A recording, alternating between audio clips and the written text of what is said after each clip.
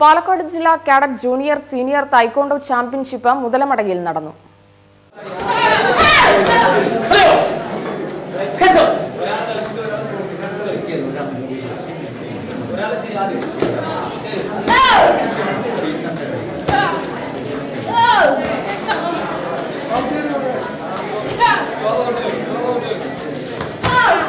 Muthalamada government higher secondary സ്കൂളിൽ വെച്ചാണ് championship നടന്നത്.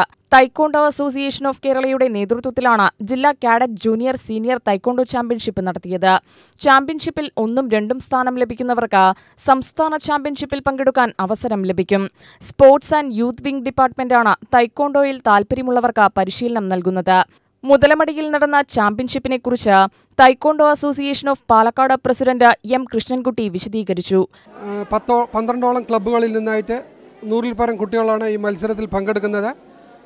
പാലക്കാട് ജില്ല കേഡറ്റ് ജൂനിയർ ആൻഡ് സീനിയർ മത്സരത്തിൽ ഇവിടെ നിന്നും വിജയിക്കുന്ന കുട്ടികൾ ഈ മാസം ഇരുപത്താറ് ഇരുപത്തേഴ് ഇരുപത്തെട്ട് തീയതികളിൽ കോഴിക്കോട് വെച്ച് നടക്കുന്ന സംസ്ഥാന മത്സരത്തിലേക്ക് യോഗ്യത നേടുന്നതാണ്. പി സി ഗോപിനാഥ് ചടങ്ങിൽ അധ്യക്ഷനായി. വാർഡ് മെമ്പർമാരായ Naseema Kamaruddeen K Satheesh school P T A president Swaminathan M Suresh Kumar എന്നിവർ പ്രസംഗിച്ചു. U T V news Palakkad.